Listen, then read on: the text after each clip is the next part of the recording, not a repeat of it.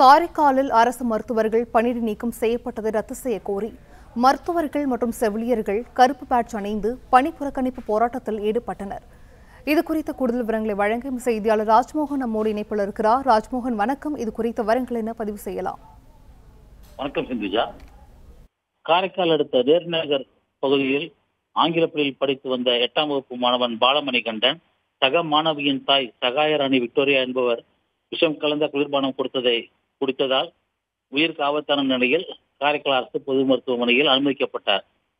அப்பொழுது அவருக்கு சிகிச்சை முறையாக அளிக்கப்படவில்லை என அவரது பெற்றோர்கள் மற்றும் உறவினர்கள் குற்றம் சாட்டி வந்தனர்.